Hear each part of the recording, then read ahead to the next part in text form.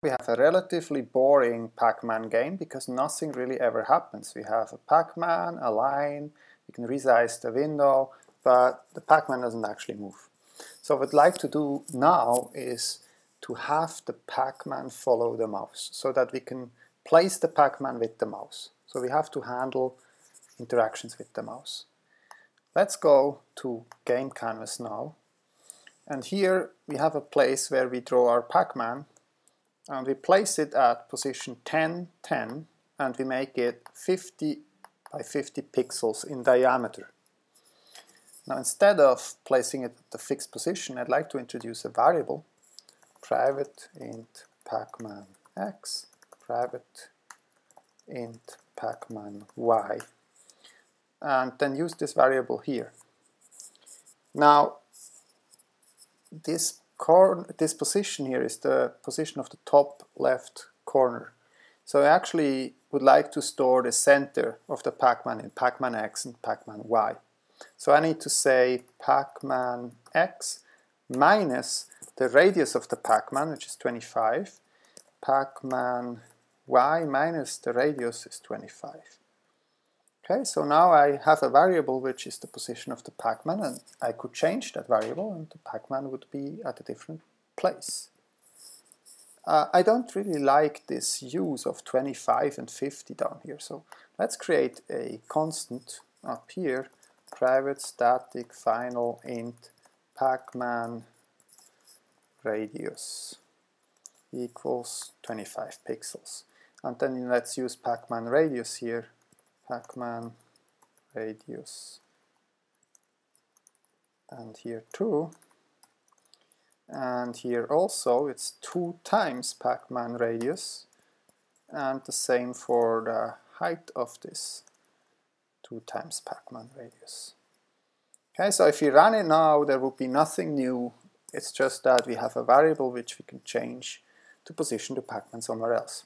Now the variable is initialized to 0, 0 uh, because that's the default value of an int variable. Let's create a constructor so you can do that a bit cleaner. Public game canvas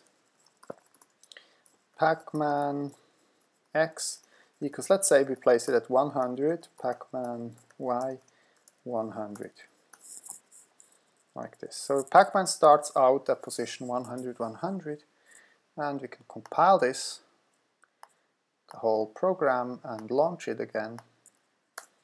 And our Pacman is now a bit further down and to the right, 100, 100.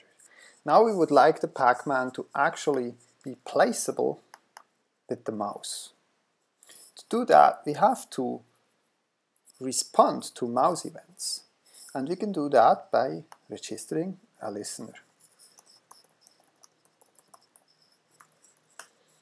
In particular a mouse listener. So we can ask this game canvas, hey you, whenever there is a mouse event occurring over this canvas, notify this object, this listener object. And we do that by saying add mouse listener. And here we provide an object that implements the mouse listener interface and methods on that object will be called whenever the mouse moves around, clicks, whatever happens something over this game canvas component. So let's create again an anonymous inner class, new mouse listener, that implements this mouse listener interface.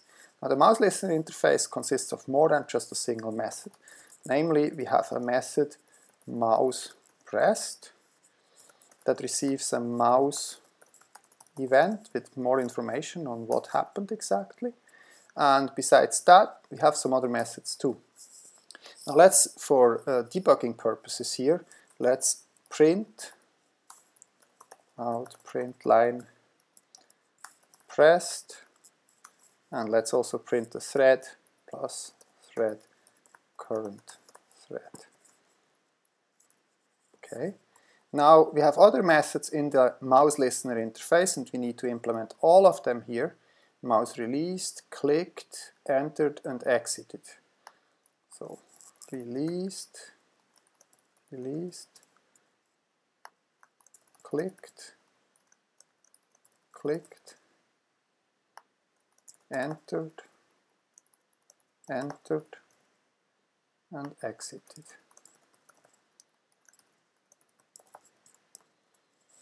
Okay.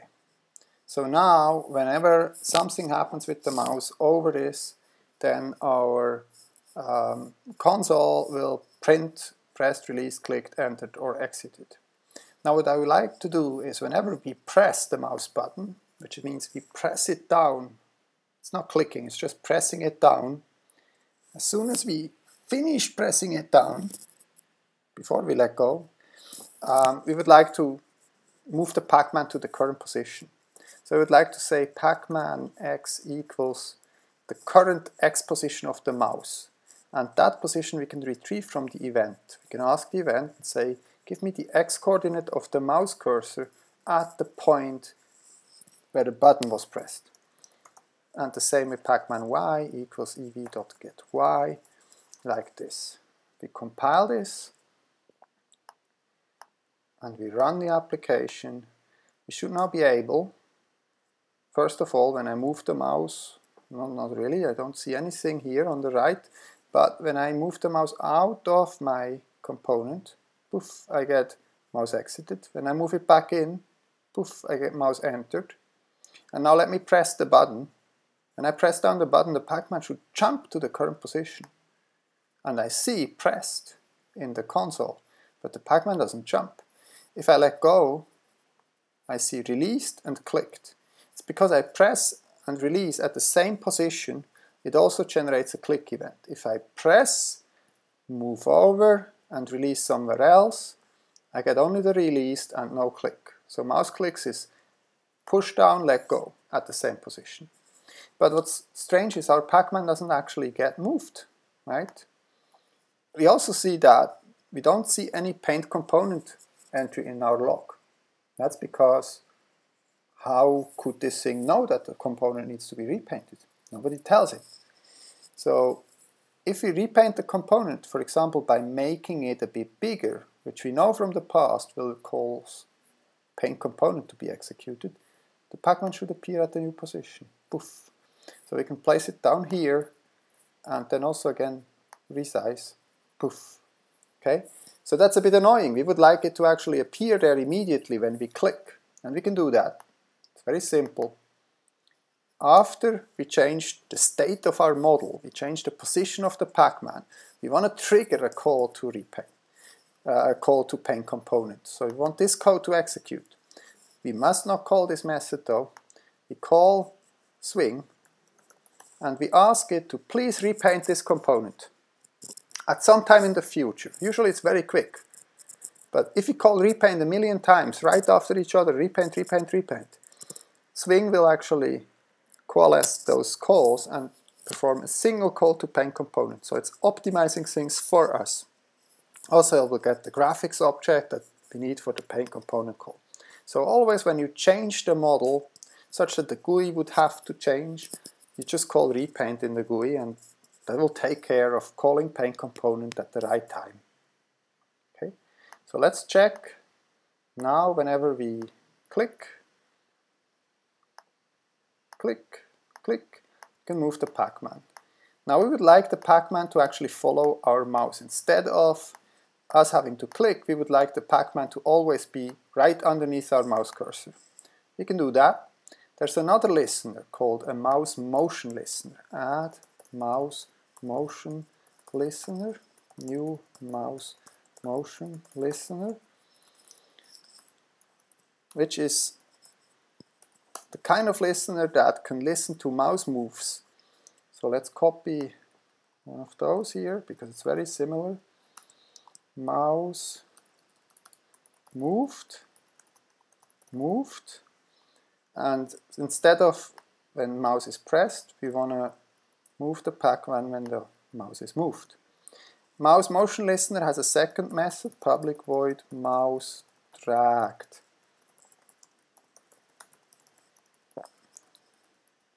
So mouse drag is called when I'm moving the mouse while holding the mouse button pressed. You can see that right now. We also need to import the mouse motion, list, motion listener interface. Oh, we already have it here. Good. Compile everything, run, and now I'm moving the mouse, I don't press or anything, and it's just nicely updating the Pacman. When I'm dragging the mouse, so I press down the key and I move, I see dragged messages in the console, but the Pacman does not move. And when I let go again, I see released, and now I have moved and repaint. Okay, I could say I only want to have the dragging, so I'll go and I'll move my code here to dragged, and so now I can drag the Pacman around, and it won't just follow me blindly, but I have to actually click the mouse and then it's dragging.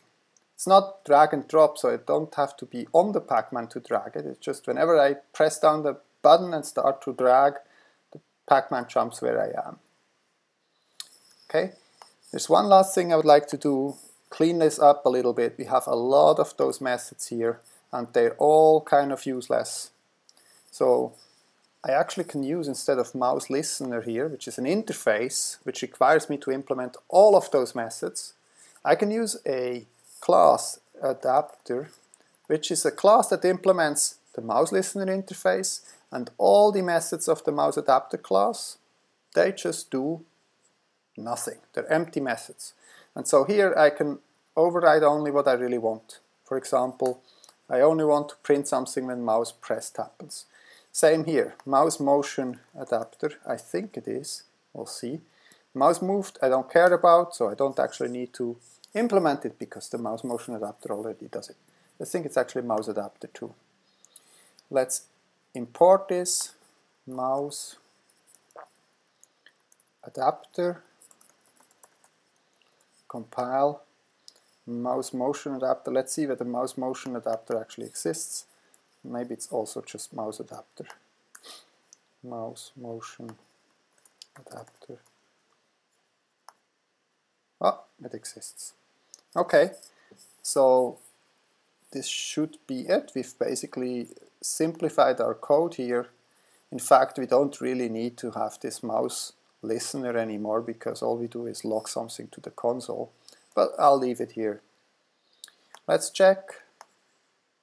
It should still have the same behavior. I click and it moves the Pacman around.